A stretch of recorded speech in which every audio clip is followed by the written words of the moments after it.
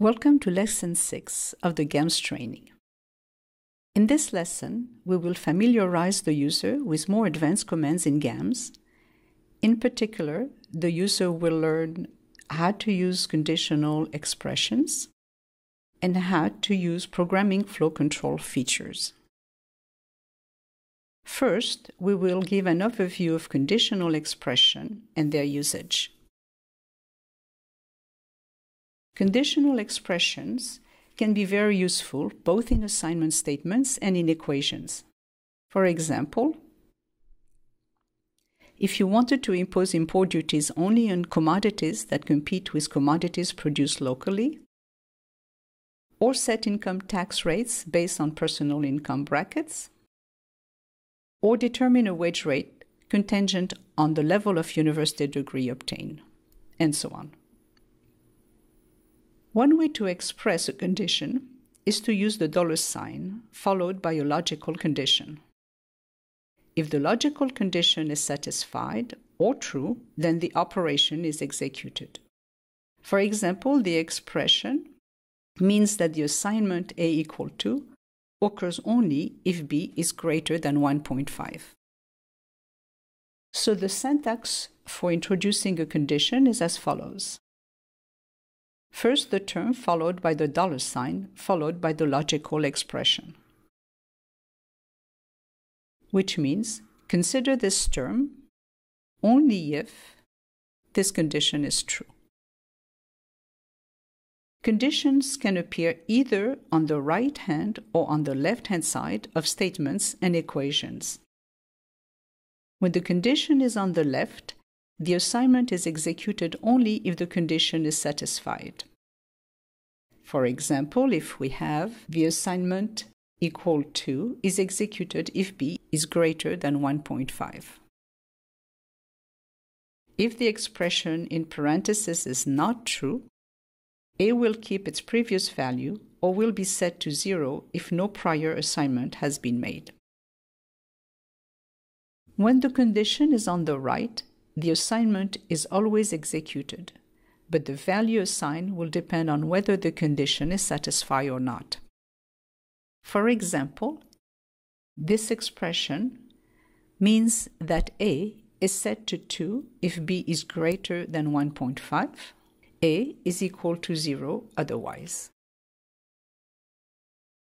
To better illustrate the use of the dollar condition on the left and on the right, Consider the following example where we want to express if b is greater than 1.5, then a is equal to 2, else it is equal to 5. In GAMS, we can write this condition in different ways. Using dollar condition on the left, we can write this assignment sets a to 2 if b is greater than 1.5 this assignment sets A to 5 otherwise, or if B is less or equal to 1.5. Of course, only one of these conditions can be true. We can also write first a simple assignment setting A to 5, and a second assignment that changes A to 2 if B is greater than 1.5. Finally, we can write a simple assignment that sets A to 2, followed by an assignment that changes the value of A to 5 if B is less than or equal to 1.5. All three writings are equivalent in GAMS.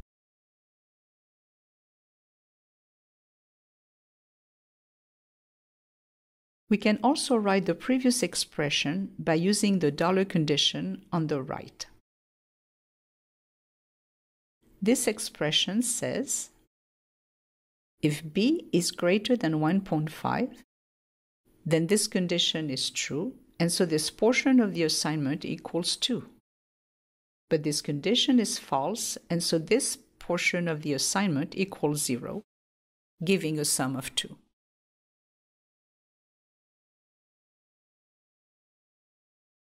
If b is not greater than 1.5, this condition is false, and so this portion of the assignment equals 0. but this condition is true, and so this portion of the assignments equals 5, giving a sum of 5. If a numeral expression is used as a logical condition, a result of 0 is considered false, and all non-zero results are considered true. For example, the numeral condition x minus 5 is only true if x is not equal to 5, and the condition x is only verified if x is different from 0. Here are the numerical relationship operators that can be used in logical expressions. Strictly less than can be expressed by LT or the sign less than. The less than or equal to can be expressed by LE or the sign less or equal. The equal sign can be expressed by EQ or the equal sign, and so on.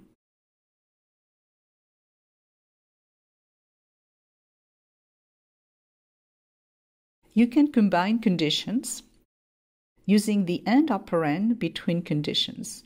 This means that all conditions linked by AND must be satisfied. For example, in the following expression, both conditions b greater than 1.5 and c greater than 3 must be satisfied for a to be equal to 2. More generally, we can build a conditional table for the possible combinations. Only one instance gives the result 2. Using the OR operand between conditions, this means that at least one condition must be satisfied. For example, in this expression, at least one condition must be true. Either b must be greater than 1.5 or c greater than 3 or both, for a to be equal to 2.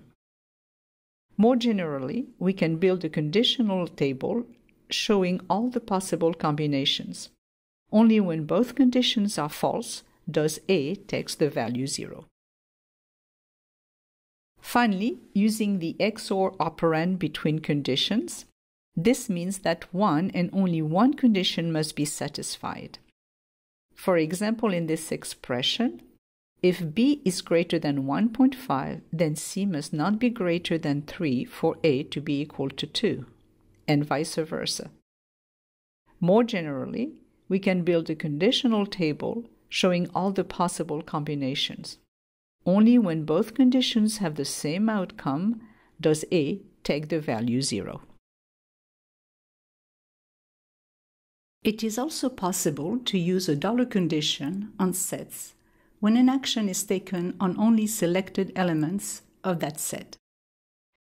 For example, we define the set I and a subset of I agri. As before, we want to apply a 15% tax only on non agricultural commodities.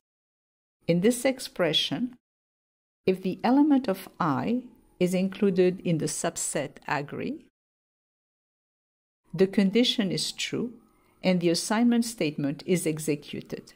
Tx equals 0. So for wheat, rice, and corn, the condition is true and the tax will be 0. Similarly, in this expression, if the element of t of i is not included in the subset agri, the condition is true and the assignment of 15% is made. So for cars and computers, the condition is true and the tax will be set to 15%. Conditional assignments can also be used in indexed operations. This may be useful to filter the elements of a set to consider in an operation. For example, you may want to calculate the income from import duties on agricultural commodities. This is expressed by attaching a dollar condition on the main set i, to which the sum operator applies. Note the condition is set right after the set name and before the comma. The dollar condition may also be used to control the domain in indexed operations. For example, where the condition is introduced to avoid a division by zero. The division by y can take place only for those elements of y that are not zero.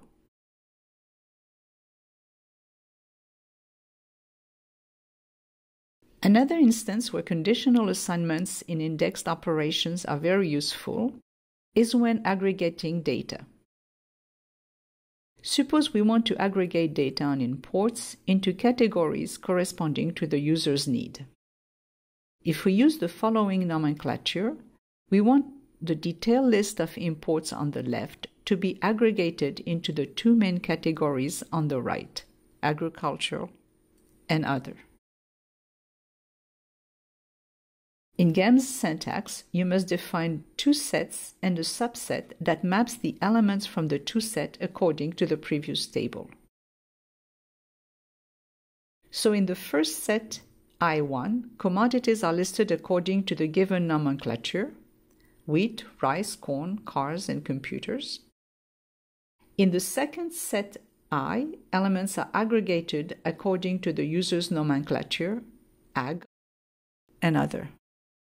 Finally, the subset map establishes the correspondence between the two nomenclatures by mapping elements of I and elements of I1. Note that the elements of I are listed first, followed by the elements of I1 to correspond to the order specified in the subset mapping. For more information on multidimensional sets and mapping, we refer you back to Lesson 5. We now define the parameters im and im1.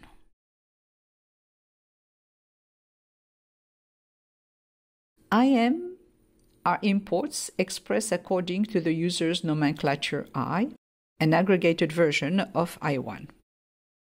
And im1 are imports expressed in set i1 nomenclature, which describes the given nomenclature of trade data.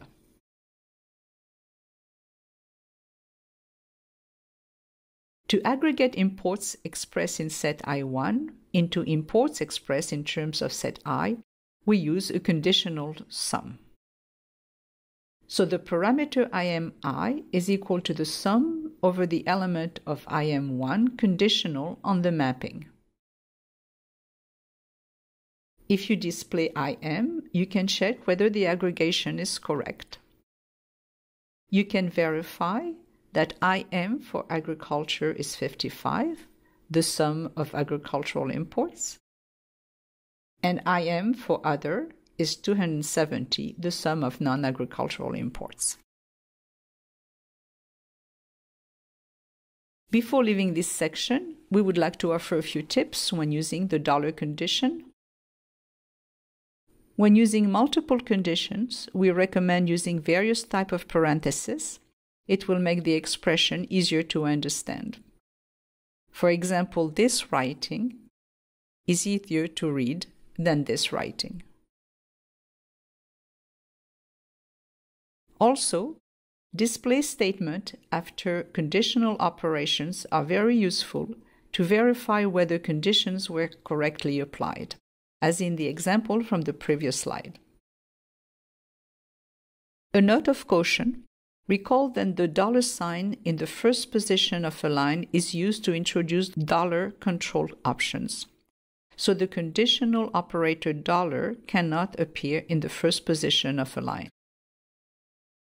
Finally, logical conditions cannot contain variables. We now present tools to control programming flows. We start with the loop and if statements. The loop statement can be used to execute a group of statements for each element of a set. The syntax is as follows. Loop is a GAMS keyword. Like other index operations, the loop statement is enclosed within parentheses or brackets. A semicolon ends the loop statement. Item in italics are optional. The loop statement can also be used for iterative calculations. For example, if we wanted to compute a population index over the period 2014 to 2020, we would first define a set T using the asterisk to signal a sequence between 2014 and 2020. Declare two parameters, both defined over set T population, which is the population index, and growth, which is the population growth. We assume the population growth to be constant at 3% throughout the period and we set the population index at 100 for the first year, 2014. The population index in 2015 will be determined by the value of the index in the preceding period plus population growth.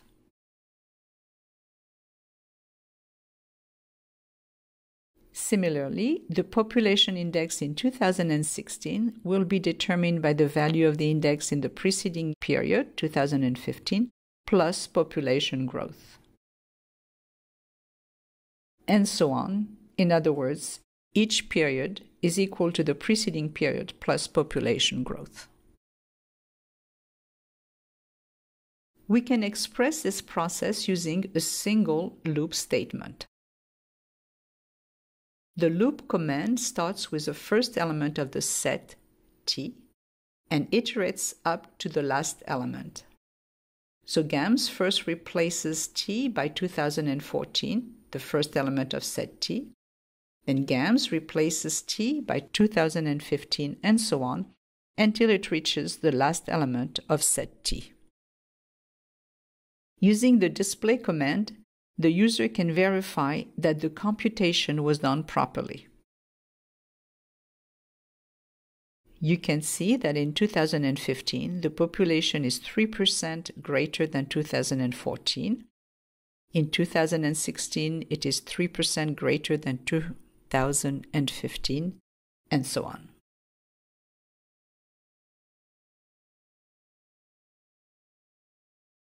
Here are a few examples when you can apply the loop statement. You may want to run different scenarios of the same exact model. You just need to define a set sen, for example, which contains as elements various scenarios. In this instance, two trade regimes, FTA and CET. Next, you include the solve command in the loop statement, and the program trade will run for each scenario. You can also generate an output table using the loop statement. We will cover this in detail in Lesson 7. Some additional comments on the loop statement. A loop command can be performed over multiple sets. In this case, the syntax is as follows the sets are enclosed within parentheses and separated by a comma.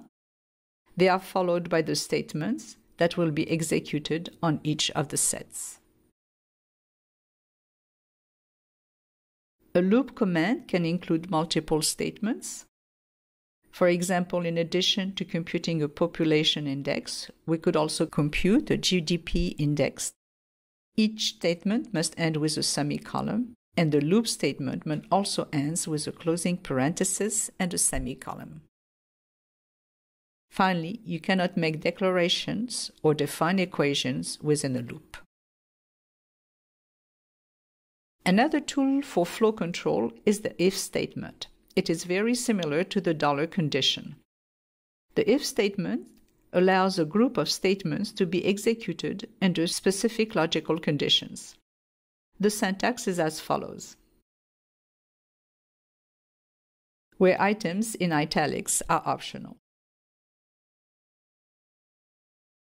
If, else if, and else are GAMS keywords. Like other index operations, the if statement is enclosed within parentheses or brackets, a semicolon, and the if statement. Consider the following example where both parameters pi and qi are equal to minus 1 if parameter f is negative. As we have seen earlier, conditional assignment can be written using the dollar sign. If the condition is true, the assignments are made and p and q are equal to minus 1. But another way to write the same conditional statement is by using the if statement. The logical condition is expressed in the same manner, f less or equal to 0. It is followed by assignment statements that are executed if the condition is true. Each assignment statement ends with a semicolon. If the condition is false, then no assignment is made. As with the loop, the if statement ends with a closing parenthesis and a semicolon. Now consider a situation a bit more complicated, where both parameters pi and qj are equal to minus 1 if parameter f is negative. But if f is greater than 0 and less than 1, then pi equals 2 and q equals 4. Again, we can use the dollar conditional statement. When f is negative, the statements are identical to the previous slide. But when the condition is not true, we can use multiple conditions to express that when f is greater than 0 but less than 1, p is equal to 2 and q is equal to 4. Or we can use the if statement. The first part is exactly the same as in the previous slide. But now we add an else if statement that tells GAMS what to do if the first condition is false. So if f is greater than 0, in this case, we impose another condition that f must be less than 1. If both statements are false, no assignment is made.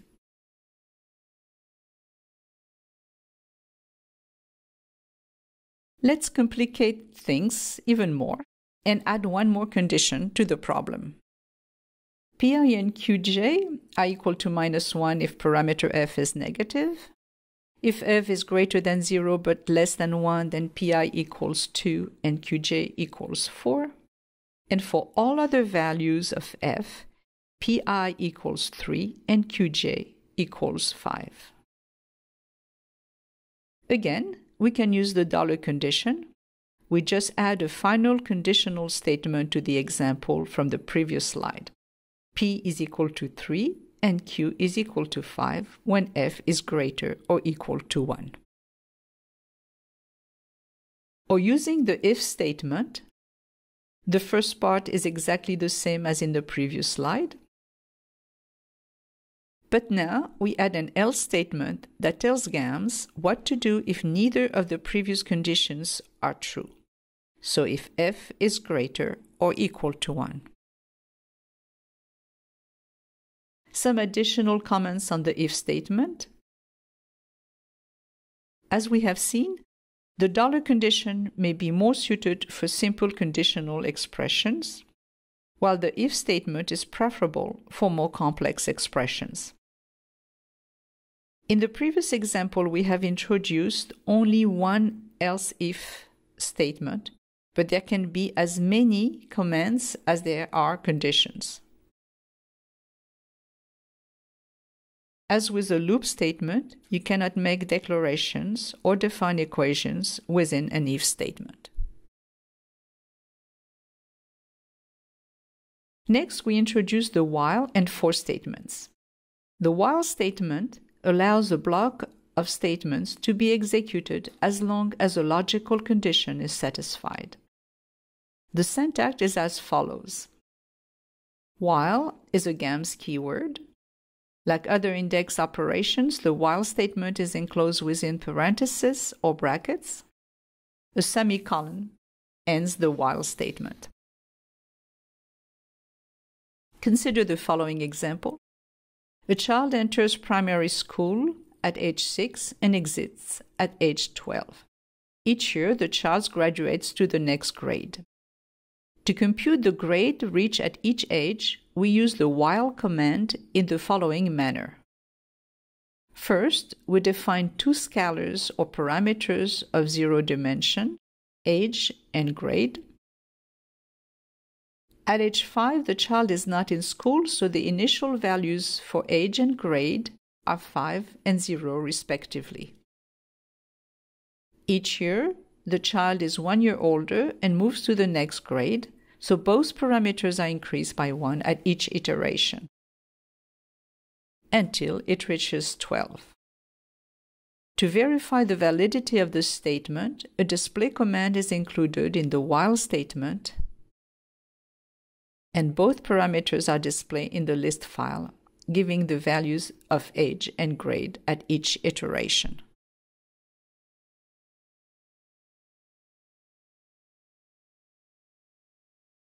The for statement allows a block of statements to be executed iteratively between given values of a scalar. The syntax is as follows. For is a GAMS keyword. Like other index operation, the for statement is enclosed within parentheses or brackets. A semicolon ends the for statement. The scalar name must have been previously defined. The start value is a scalar initial value, and the end value is the value of the scalar for which the for statement should stop. The start and end values are separated by the keyword to. The increment is the value for which the scalar changes after each iteration until it reaches the end value.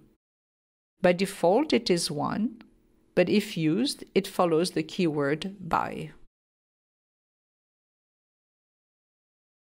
We illustrate with an example based on the optimization problem presented in Lesson 5. We want to model an increase in the price of hamburgers at McDonald's and see how it will affect the meal selected by the consumer. More specifically, suppose that the price of hamburgers increases annually by 10 cents for five years from a starting point of $1.30. We first declare a scalar P Inc., the yearly price increase. Next, we write a for statement with a starting value of the scalar P Inc. at 0, an ending value at 50 cents, and an increment of 10 cents. The price variable, P, is now assigned a new value for hamburgers at each iteration. The new value is equal to the starting price $1.30 plus an increase that will vary between 0 and 50 cents in 10 cents increment. Note that since the increase is only on hamburgers, the specific item is addressed by its label and set between quotes. The solve statement is enclosed in the for statement, so the model is solved iteratively for every new price of hamburgers, and the solution represents the values of the variables that minimize total cost while satisfying the minimum daily intake of nutrients. We now conclude lesson 6 of the GAMS training. For your assignment, program the different example presented in this lesson. Use display statements to verify that you obtain the same results.